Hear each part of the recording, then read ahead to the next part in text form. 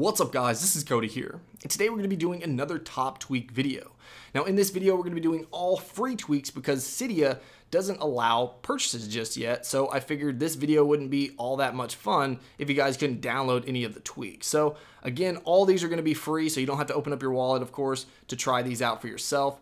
So let's go ahead and get started and see what we have in store. All right, so first up, we have a brand new tweak called Breadcrumbs Away.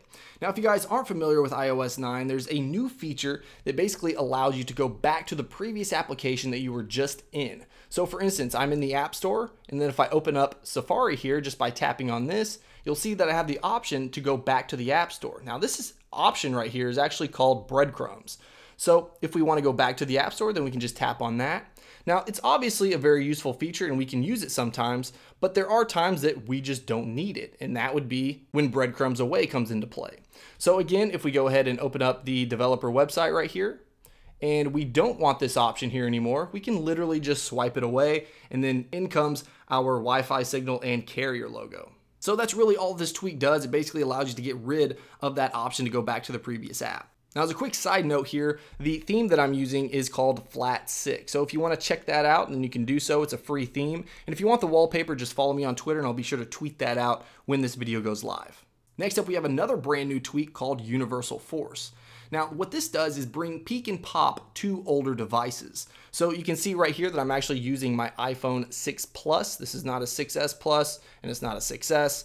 And you'll see that we can get peek and pop using universal force. So all we have to do is just kind of force touch right here and you'll get the little peek and you can actually swipe up here if you want to copy, share, favorite, delete. You can do whatever you want to here or just swipe it down and it's going to go into full screen mode. You also can kind of like swipe it to the left a little bit. You just your finger kind of gradually move over and it's going to peek and then pop into play right there. And this is obviously going to take place not only on photo folders, but you can do this uh, in your mail as well. So for instance, if we wanted to open this up, you can see that we get a peek and then a pop. It just kind of pops into play right there. So pretty cool tweak. Now, if you're having trouble finding any of these tweaks, just be sure to check the description. I'll put a link in the description below for all the links and sources. Now, you probably also noticed that I have five icons across right here, and that's due to better five column home screen.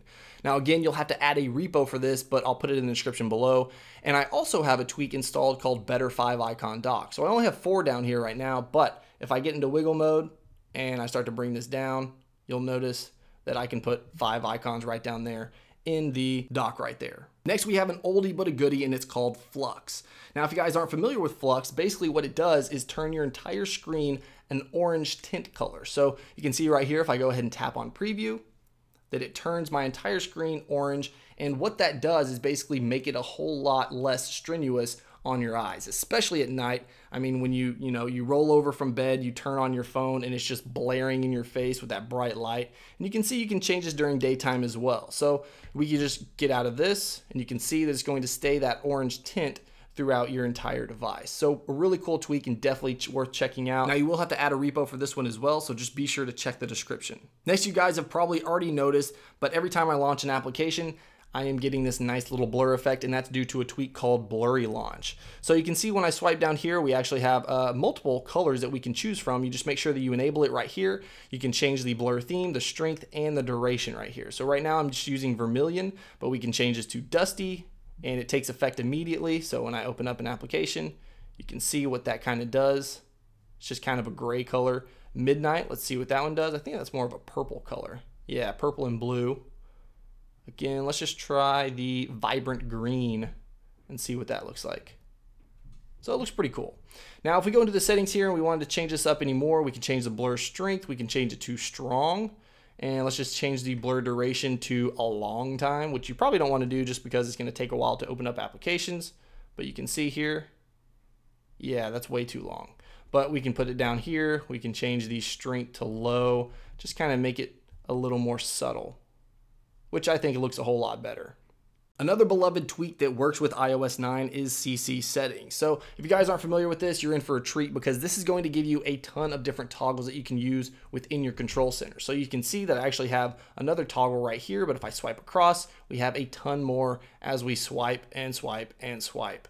So you can obviously set this all up within your settings. So if we go out here and we go into uh, CC settings, and tap on that. You can see you, you can change how many you have per line. You have toggles for dismissing the control center as well as killing the music as well as whitelist. So this is basically going to come into play when you uh, kill all your applications. Now right down here you have all your include and then right down here you have do not include. So if you want to hide some of these and you don't want them in your control center then you can obviously just take the little grabber and swipe that down so you don't accidentally shut down your device for whatever reason. But CC settings is another really cool tweak. I definitely recommend checking this out if you haven't already. Now, if you're into using folders, then I definitely recommend checking out better 4x4 folders. And you can see right here that if I go ahead and open this up, that basically what it does is give you a 4x4 layout. So I just think it looks a whole lot better than the stock layout. Now, one thing I will recommend doing is hiding the icon labels. So the way that you can do this is just download a tweak called Hide Me 8 Lite and then go to your springboard and then hide all icon labels. Otherwise, all the labels for these icons are kind of going to overlap just because they're kind of scrunched together. But I think it looks a whole lot cleaner without icon labels anyways, as you can see right here on my springboard. But really, it's just a matter of preference. Next, you'll notice my badges right here, and this is actually due to a tweak called Blurry Badges. So what it does is it takes the color or the dominant color of that application and then uses that as the notification color. And it also blurs it out as you can see right there. Now there are some settings that you can do right here as we go through uh, the blurry badge settings. Tap on that. You can see you can change the border. You can either turn it off completely. You can have a huge border. You can obviously just go through these. You also have a border color, so you can do white, black, random, uh, lighter or darker, and then you have the badge tint alpha. So if we go ahead and swipe all this all the way over, we can go back here and you can see that it basically just doesn't even blur it out really. It just takes all that opacity away and pretty much is a solid color. And last but not least, we have a new tweak called Reveal NC9.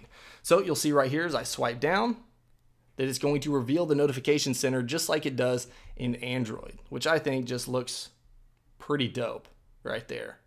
So if you want to check that out, you can definitely do so. This one just hit Cydia like 10 minutes ago, I think. So you definitely need to check all these out if they spike your interest.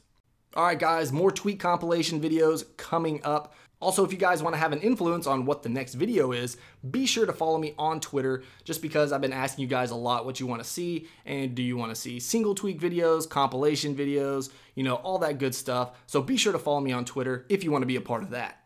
Now down in the comment section, be sure to tell me what your favorite tweak that is working with iOS 9 is. Just because, you know, I want to help you guys find tweaks and of course, I want to find tweaks as well. So if you guys know any tweaks that work really well with iOS 9 and it's just one you definitely need to have on your device, be sure to let me know in the comments below. I look forward to checking those out. All right guys, I hope you enjoyed this video and if you did, let me know by smacking that like button as hard as possible. Of course, if you want to see more of my videos, be sure you're subscribed. All right guys, I'll see you in the next video. Peace.